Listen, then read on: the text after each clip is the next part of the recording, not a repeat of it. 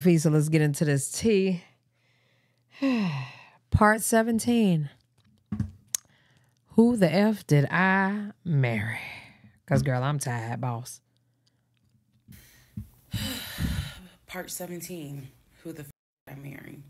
So, for context and just to clarify some stuff, going forward, I'm going to now call my ex husband. I'm going to use the name that I call. What? How do, how do, God damn. How do I put it on 1.75, friend? How I do that? How I do that? Part 17 Who the fuck did I marry? So, for context and just to clarify some stuff, going forward, I'm going to now call my ex husband. I'm going to use the name that I call him in real life. Um, so that way it clears up the whole fiance, boyfriend, husband, ex husband thing. So, his name is Legion. Anyone that knows me will tell you that is what I call him. So, Legion and I, when I left off at part uh, 16, um, or excuse me, part 15, Legion and I got married January 5th of 2021. For the first two weeks, things were fine. Um, we got My mama into like a, a routine, basically. I would go to work, he would go to work. Um, he was still leaving the house at around 6.15 every morning. he was still on the phone with his brother. The Chrissy, shut up. Philly, Um, every morning. They would just, that was their time to talk. Lesion. From what I was told, the brother got off work. I guess he must have worked the third shift. And so he was getting off work as Legion was getting ready to go to work. So that was the perfect time to talk. He would talk to No, she did the right thing. Somebody said she should have turned this into an audiobook. She I watched her TikTok live today. She is about to make it a book. I don't know about an audiobook. But baby, coming on TikTok first, making a bag, then taking it to an audiobook. Then making a bag and then making a book. And then having a uh, a book signing. And then getting interviews. Yeah, she did the right thing. Um, his brother in Baltimore and the brother in Augusta. Pretty much, you know, just a quick phone call here and there, if not every day, every other day. So everything was pretty much the same. I would talk to my mom almost every day. I would talk to my aunt almost every day. Um, so it was it was nothing to kind of Okay. Hmm, that's weird. Um, that's what the morning routine was. He would talk. So I worked at Georgia. I can't wait till she be like, I'm gonna do a quick, a quick TikTok live. Can y'all get me um about hundred and twenty thousand dollars so I can get the the car that I wanted? that he lied about getting. Yeah. State Patrol. Um, and I t- said this in a previous video, but again, there were things I said in previous videos that I remember saying, hey, remember that because it's going to come back later. So I worked at Georgia State Patrol. I had been working there for almost eight years, seven or eight years by the time Legion got into the picture. He was fine with the fact that I worked um, within law enforcement. I'm not a trooper, I'm not a sworn officer, I'm a civilian. However, he, um, again, his dad was a retired police officer. So he was perfectly fine in the beginning. with the fact Yes, that I worked Shara. For Georgia State Patrol. Yes. Um, he had been to my office before. He had met some of my um, co-workers. Obviously, even with COVID, because I still had to go into the office two or three days a week, he had been up there. So the friend who took me to the hospital when I had my miscarriage has met him. He and I have been to her home with her and her significant other before. So again, even in the world of COVID, when there were little times where you could get together with people, he has met people in my life. He has met um, my friend or that particular friend, and he has met some of my coworkers. So when we got married, the first two weeks, like I said, was fine. And then it's as if something snapped, um, something just changed what was totally acceptable before suddenly little comments were made why are you wearing that to work You get off at 3:30, so you'll be home by 5, right? Things that had never happened before. He had never questioned what time I'm gonna be home. Um, really, he didn't need to question it because when I'm off work, I, I leave. So it was never a situation of, oh, I'm just sit around at work and just run my mouth because I have nothing to do. Um, and then it turned into, you know, he would call me every day from work. And I'm going to demonstrate how those phone calls went. But he would call me every day from work. And if he even so much as heard a male voice in the background, he would have little comments to me. Who was that? Are they in your office? You know, man, you know, I never know who's who's around you because it seemed like every time I call you, I have the hiccup, sorry. It seems like every time I call you, um, there's some man around. Chrissy, is is something wrong with her having hiccups every video? It's giving a little ass a reflux. and I'm just like, you know, at first I kind of shrugged it off. I laughed it off because it really truly was absurd to me. Um, but then it became a bit more frequent. And so I really just didn't feed okay. into it because I'm like, I don't know if this is some insecurity. I don't know if this is jealousy because nothing has ever been done to make you feel any sort of insecure type of way. I've never entertained another guy, never flirted with another guy. Like, I don't know where this is coming from.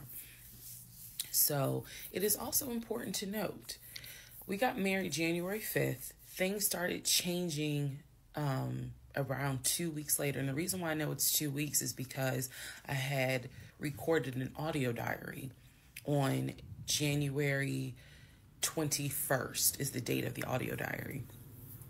And I talk about how maybe I had unreal- unrealistic expectations because uh, you think? it seemed as if things were changing with he and I.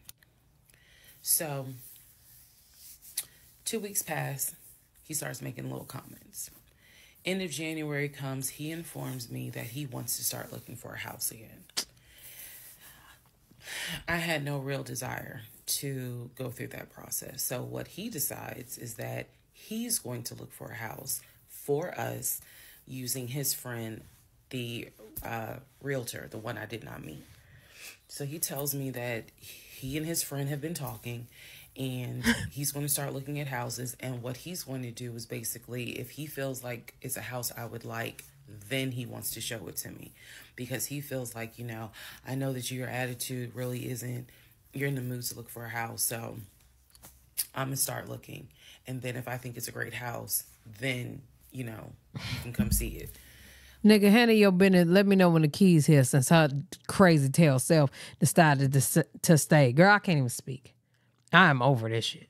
Um, and I remember thinking, that's not like that's not gonna work. What's keeping me here is being nosy. You're gonna choose a house without me. he was like, no, I'm not gonna choose the house, but I just think that you know me and old boy have been talking, and so he has some houses that he is representing. He wants to show me. So why don't you let me look at it? And if it's worth the time, then I'll bring you to look at it. So he already had some sort of plan in place after talking to his friend um, about how he's going to start looking at houses.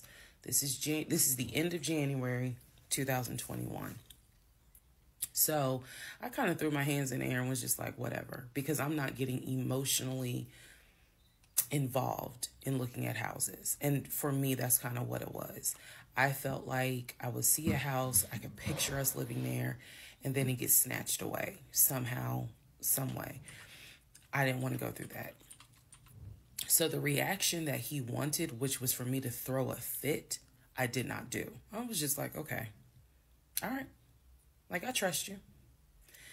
Um, and remember that I said the reaction he wanted because that's going to come back later. So he started looking at houses. Funny enough, the houses that he looked at, none of them I actually saw.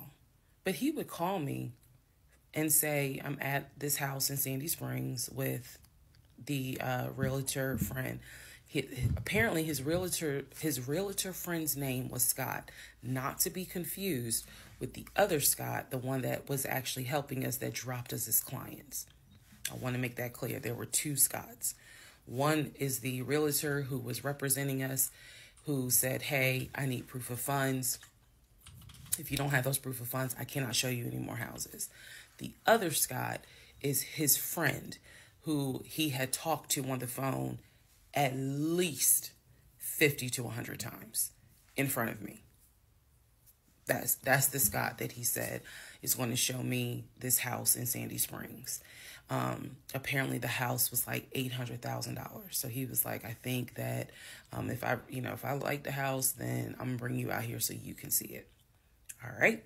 Now let's go into part eighteen. Okay, part 18 Who the fuck did I marry? So he starts looking at houses in Sandy Springs, Alpharetta area with his friend Scott. Um, I did not see any of these houses. I did not go. I didn't want to go. Um, so what was starting to change is remember I said before he would leave the house every day at around 6.15 he would be home every day between 3.30 and 4 o'clock without fail. It was so I shouldn't say it was annoying. For him, for I real. set my clock by the fact that I would hear that garage door open between three thirty and four o'clock every day that he went to work. Even during lockdown, he still had to go to work. His job was only locked down for maybe a week. Um, for me, I was allowed to work from home, but unfortunately, I I did not handle it well. And so I would fall asleep and not check email. So my boss was like, Yeah, you're going to have to come back to the office because you're not trustworthy. And I wasn't. I mean, I totally, I would watch Netflix and not even be on my computer. So Damn. I had to start going back to work every I see. That's why some people say they can't work a job, but that's why I had to get an office because I can, I'm getting a little too lazy, my boy. day, five days a week. Um, and I was, me and another lady were the only two in there because we were the only two who did not handle work from home properly. Anyway, that's another story. So Legion would, he started to not come home by four o'clock. He started to come home five, five thirty, six, six thirty, sometimes seven o'clock because he was saying that he was um, looking at houses after work with his friend Scott. So it definitely was noticed that things are changing. Um, and I just, at this point, kind of emotionally and mentally, I was just like, I don't know what to do this is the end of January. Remember, I told you in part 15, I got married January 5th. By January 31st, I kind of knew I was in trouble. And by the end of January, sure enough, I knew things were changing in a way that I was like,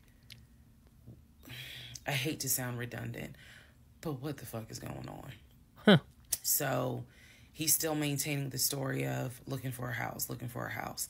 I had already let him know my lease is up in August. When my lease is up in August, I am moving to Cobb County. Um, and then my attitude was kind of like, you can go with me or you can stay here. I don't care, but I'm moving. I'm leaving Clayton County. The reason why I want I was so adamant to move was not because of Clayton County. It was not because of the house that I was in. It was because Legion had started to create this narrative that he was beefing with my female neighbor. He was trying to get me to believe that my female neighbor to the left of me um, somehow was interested in him. And so she would make these little comments, and he would come in the house complaining about her and her music and the fact that she had, you know, different men over to the house. It was driving me crazy. And all of this was kind of starting in January. So when I say that it really seems like we got married January 5th, and then we had two weeks of peace, and then something just snapped. This some straight Tubi movie shit, y'all. I literally mean something just snapped. So I don't even know if I can go to twenty. he's 20. looking at houses. Now we're moving into February. February obviously is my birthday month. Um, he did good. He did good to make Valentine. He went all out for Valentine's Day. He went all out for my birthday. My birthday and Valentine's Day are February 14th and February 15th. So, um, he Ah, fuck. okay.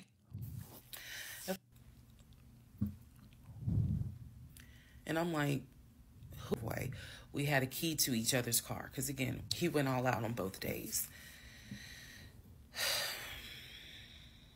Y'all ain't even gonna believe this story. Girl, we gonna believe everything. I said I would share even when it makes me look bad.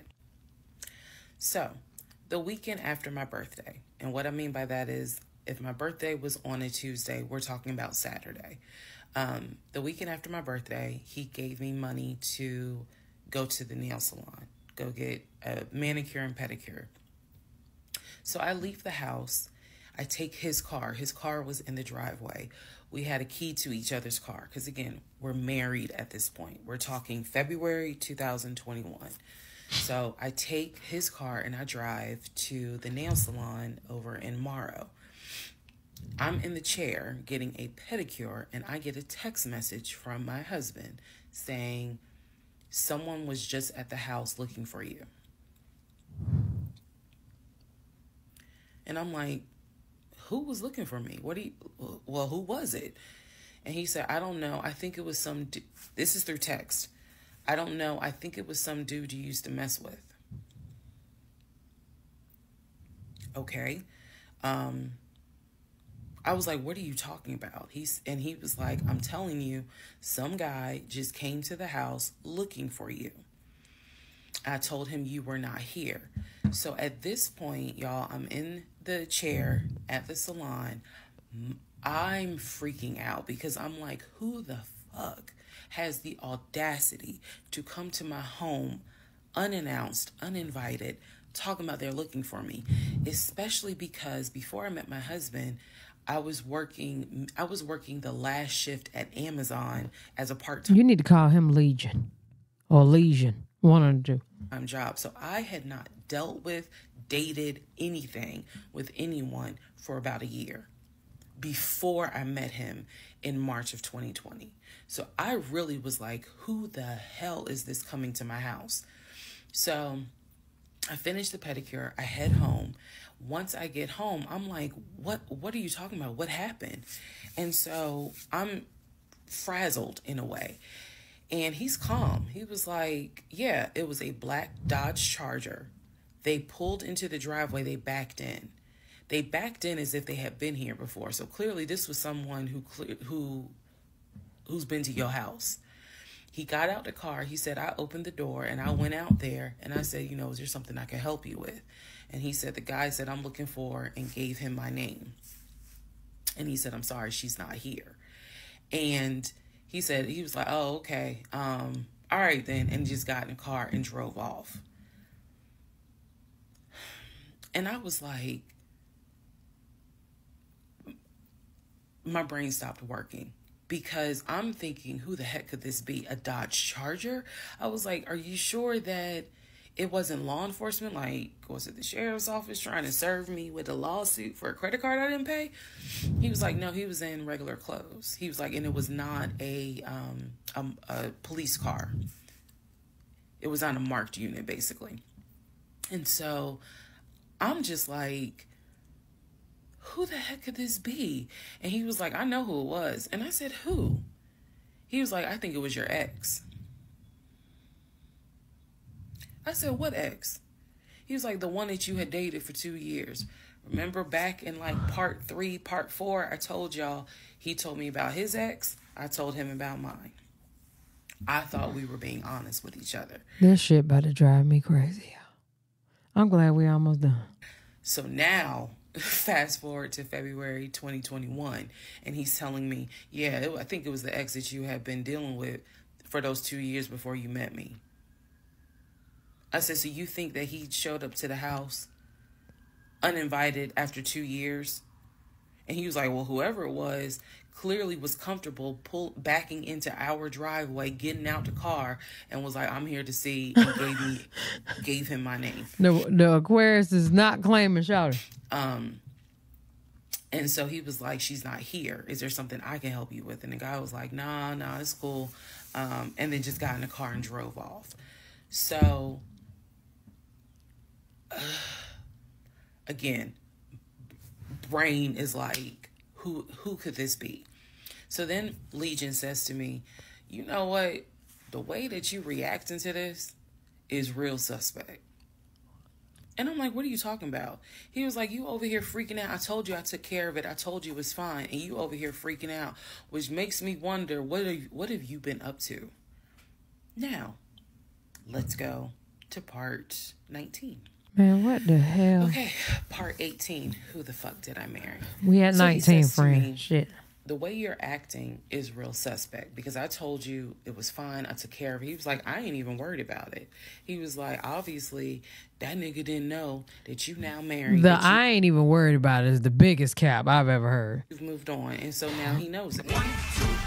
Oh, no, But no. for me, it was the fact that Sorry. I don't do dry, I don't do pop ups. Don't come to my house unannounced. So if someone has done that, for me, it it automatically feels like a violation, and it feels like it needs to be addressed. So it was not as simple as I already took care of it. It's fine. Let it go. Nah, we ain't letting nothing go, because you don't have my permission to show up to my house. And before this turns into something where I'm going to be on Fox 5 News, I need to address that with you because that is not okay. So he didn't like the reaction I had to the story he told me where someone basically disrespected my home. And he felt like my reaction was really suspect. So, um, what I'm gonna, I'm gonna get into the little details that he did not know about. So he tells me again, it was a black Charger, a black Dodge Charger. They backed into the driveway. A gentleman got out of the car and he asked for me by name, and Legion said she's not here. So, um, I asked him, "What does the guy look like?" And he said, he was like, "Why does it matter?" I said, "What the fuck does he look like?" So Legion proceeds That to give me the most me. generic description you can give. He was like, "Well, um, he was shorter than me. Ex-husband is about six three, six four. He was shorter than me. Um, he was brown skinned. I said, did he, ha- did he have a hat on his head? Mind you, I understand that before marriage, I was a damn fool. I understand that. But every woman has that moment where you only gonna fool her but for so long. Bitch, And bye. eventually stuff, puzzles start coming together. Ma'am, we don't want to talk about getting fooled and stuff. Because you are a little past uh, the rest of us. Uh, we've all done some dumb shit now. But this is just top of the line. Stupida. For me, I felt like moving into marriage, certain things started coming together. So I said to him, um, have You know, as a woman, we all come to a point. a hat on his head? He was like, nah, he ain't wear a hat. So in my mind, I am mentally going down a list of every possible man it could be. Um, and it was only like four men. I had been in that house about three or four years at this point. So I knew all of the people, and I'm talking about from maintenance down to ex boyfriends. It was a total of like four men.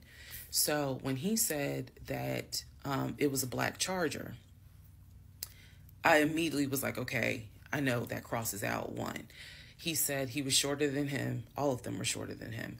I said, did he have a hat on his head? He said, no, that crossed out one because one in particular was a maintenance guy who always wore a hat on his head because he had like a bruise or something and he, he was just self conscious about it. So he always wore a hat. That leaves two. So I said, was he muscular or was he skinny? So Legion's getting all frustrated. I said, just answer the question. He was like, well, he was kind of in between. And I said, okay. Um, he, he was in between. I said, so was he light skin or was he dark skin? He was like, I told you he was brown skin. I said, was he my complexion? He said, no, he was he was brown skin. That eliminates one. So now there's one left. And yes, the one left would have been the ex that I had dated for two years.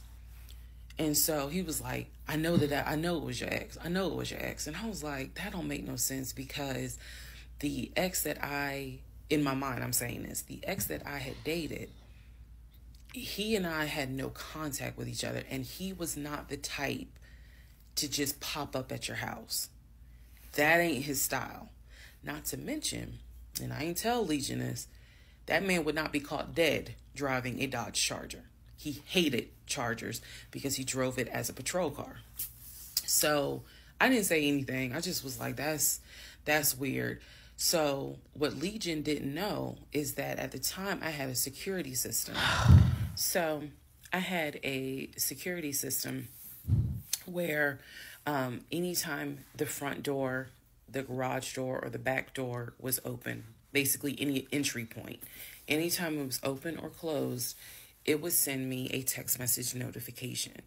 So when he's telling me all this, I'm looking at my phone and I see a notification where the front door was opened and it was shut all within the same minute. So, for example, if it says front door open at 1 p.m., front door closed at 1 p.m., so whatever he did was within those 60 seconds. He's telling me the story of the guy got out the car. Um, he opened the door. He went out there. Can I help you? And the guy said, um, I'm looking for. And Legion said, No, she's not here. And so the, he said the guy kind of was like, okay. And he was like, all right, thank you. And got in the car and drove off. Legion has also told me that he watched him drive off, drive out of the neighborhood, which means because of the way the house was set up, the townhouse, he would have still been outside watching this. I could be wrong. But That's how I feel, Retro. Like if you give a person this many chances and you know what's going on, I can't trust you. Facts. I am exhausted, y'all. This is my last one. I, I can't do it. Would take more than 60 seconds. For the rest so of the for night. the door to have been open and shut within the same 60 seconds, I was like, mm, mm. okay. So also what he didn't know, we didn't have a ring door camera, but my neighbor did and her ring door camera caught. Look, I want to show y'all what I'm doing. Normally, I wouldn't show y'all this, but I can't help it. Look at what I'm listening to and watching. My driveway.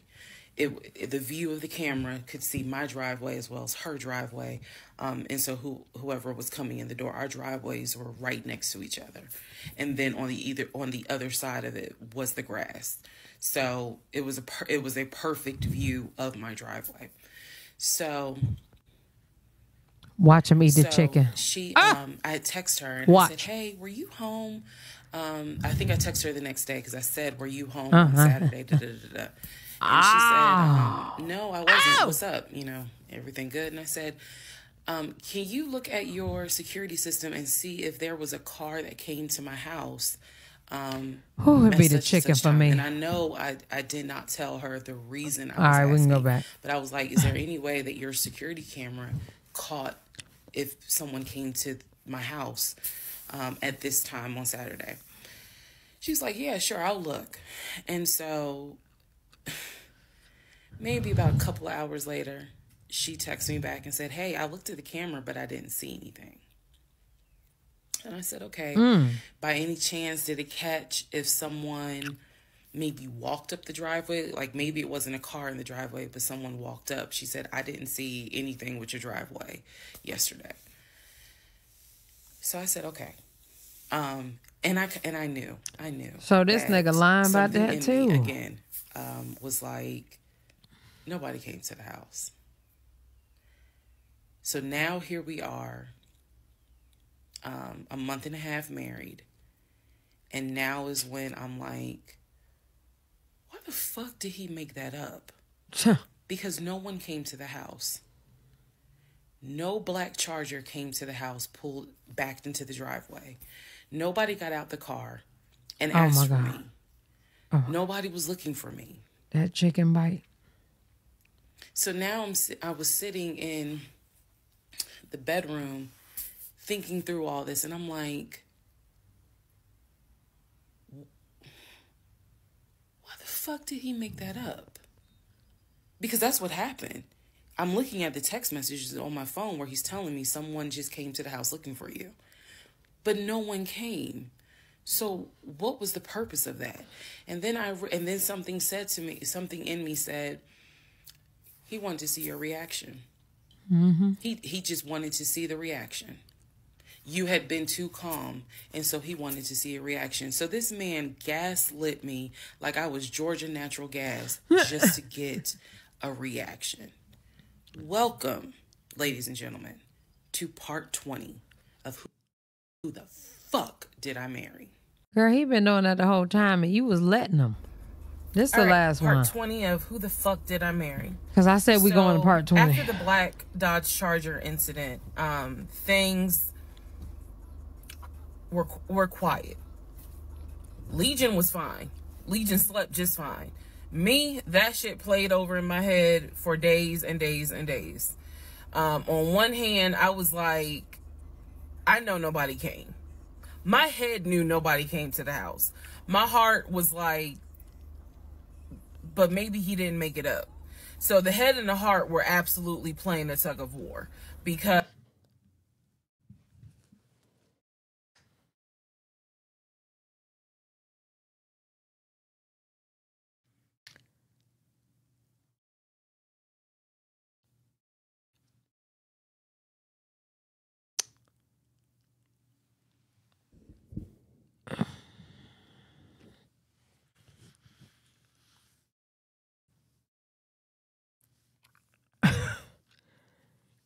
a part of me thought it wasn't a lie is about to make me throw my whole computer setup. And I ain't got cop money, so I ain't doing it. But however, um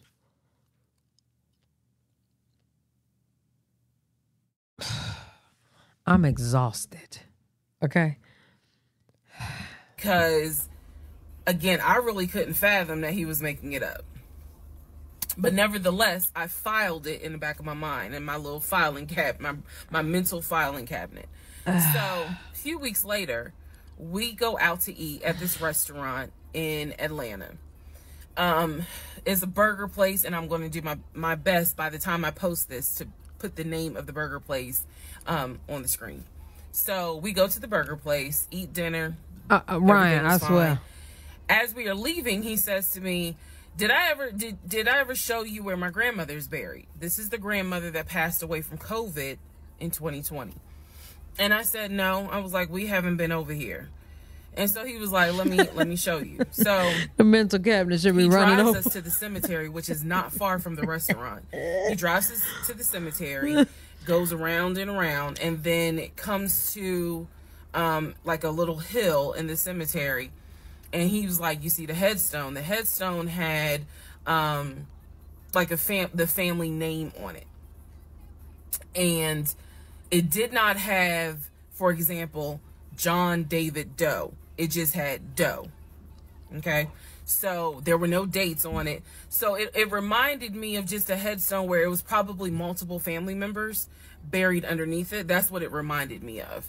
And so he was like, My grandfather and my grandmother are buried there. I do recall him telling me when the grandmother died in 2020 that she wanted to be buried next to his grandfather. And so he told he, he we're sitting in the car because we can see the headstone like on top of the hill from the car. And he tells me that that is where his grandmother and grandfather are buried.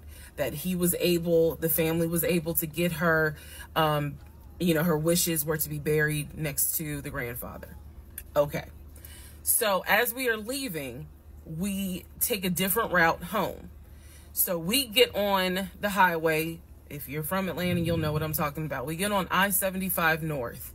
Um, and we're kind of just we're just driving around to be honest with you but we're taking the scenic route we get on i-75 north because the reason why i remember is because when you're on i-75 north going towards atlantic station on the right hand side you will see the varsity. You'll see all these tall skyscraper buildings. Oh my God. one of the buildings has the letters ncr on the building. We as we're coming up towards the building he says to me do you see the ncr building? I said yeah. He said the building behind it my job bought that building that's where we're going to have um, we're setting up operations and i was like Child why the hell would y'all buy a condiment company I'm so in downtown Atlanta? And he was like, no, we're not doing production there. It's just going to be offices, and that's where we're going to handle like the business portion. The production is still being done in Gwinnett County, in Ryan, Duluth. I'm And so I exhausted. was like, oh, okay. He was like, that's where I keep the company car. So I was like, the company car. I said, aren't you supposed to be bringing the company car home? And he was like, I don't want to bring the company car home because it's Clayton County and it's a ninety thousand dollar car, and I don't, know- I don't want, nah, I don't want no problems. So he's telling me that he keeps the company car at the build, the building downtown Atlanta that's behind the NCR building. I barely could see what building he's talking about, but he was like, it's the building right behind it. And so he's telling me that that's where his office is. So I said to him, oh my God. take me to your office. I know it's a Saturday, but shit. You wanted the VPs, right? Oh, Take me to your office. No, I had not been to his office Ooh. simply because again, COVID. So I was like, take me to your office. And he was like, he was like, I can. He was like, that's no problem. So do I have the other phone? I do. So y'all are in luck. So I can Oh. maybe reenact how this goes. So right. he gets off the exit and starts driving towards the NCR building. While he's driving towards the NCR building, he always has kept his phone in his left pocket. This is my left hand. So he pulls his phone out and he starts calling. He tells me he's calling Willie. Willie is supposed that to be soup the look good as hell. Oh, he about to drink it. So he's saying, um, let me call Willie real quick to make sure that the building's open.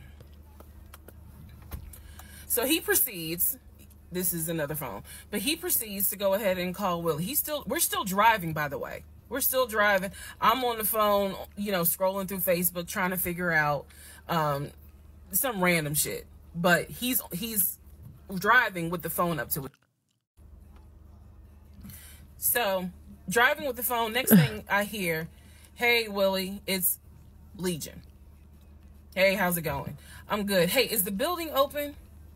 No, I just want to take my wife up there so she can see it and see my office. Are you up there right now? You're not? Okay, is Mr. Justin working? Okay. So is there anybody up there that can physically open the building? Because I don't think my badge is going to get me at least in the front door because of is on the weekend lock. Okay. Weekend lock is crazy. All right. Let me know. All right.